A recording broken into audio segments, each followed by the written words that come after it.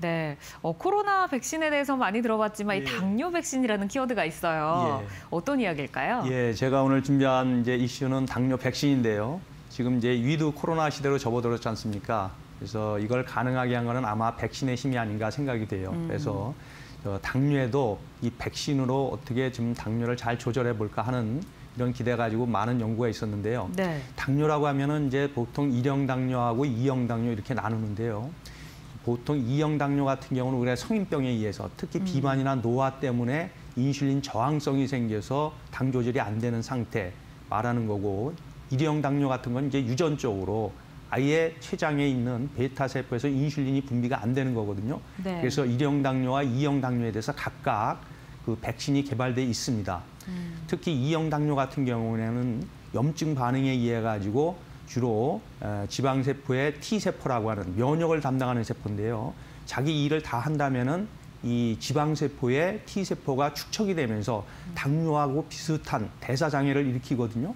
그래서 일본의 그 오사카 대학의 나가가미 교수가 이제 연구를 했습니다. 노화된 T세포 표면에 있는 표면 단백질인 CD153이라고 하는 것을 표적으로 해서 백신을 만들었거든요. 네. 그래서 또 이제 실험을 하게 돼요. 쥐한테 이 고지방 식이를 줘서 비만한 쥐를 만든 다음에 네. 어, 이제 당뇨를 유발하고 여러 가지 합병증을 만드는 쥐한테 여기서 개발된 CD153이라고 하는 백신을 주사했더니 이 지방세포의 T세포가 축적이 안 되고 그다음에 경구 포도당 부하 검사에서도 인슐린 기능이 정상화되면서 당 수치도 개선이 되는 이런 오. 이제 결과를 얻은 거죠. 어. 어, 그리고 이제 일형 당뇨 같은 경우에는 그 이제 스웨덴의 린셰핑 대학 교수팀이 연구를 했는데요. 보통 유전적으로 HLA DR3 DQ2라고 하는 이 유전자형을 가지고 있는 사람의 절반에서 이제 일형 당뇨가 생긴다고 하는데요. 여기에는 좀 glutamic acid decarboxylase라고 하는 이 효소에 대한 자가 항체, 자가 면역 질환이거든요. 자가 항체가 생기면서 그 췌장의 세포를 파괴해서 인슐린을 못 만들게 하는. 그래서 여기에 대해서 그 항체에 대해서 저항하는 알루미늄을 붙인 이런 물질, 경구 약물을 개발해서 투여를 하니까 인슐린이 정상적으로 분비가 되면서 당이 효율적으로 조절되는 이런 결과를 얻었습니다. 네.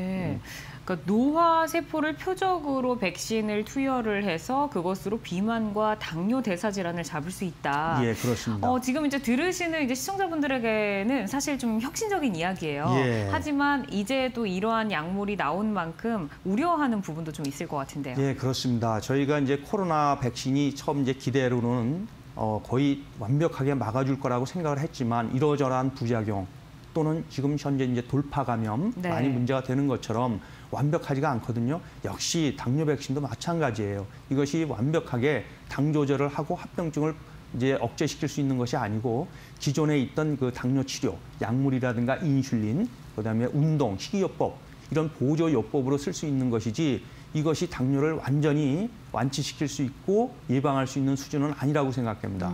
이 당뇨 백신의 현재 어, 유용성은 어, 당 조절을 좀 더 원활하고 손쉽게 할 수 있는 데 도움이 되고 합병증을 예방하는 데 기여할 수 있으리라고 생각이 됩니다.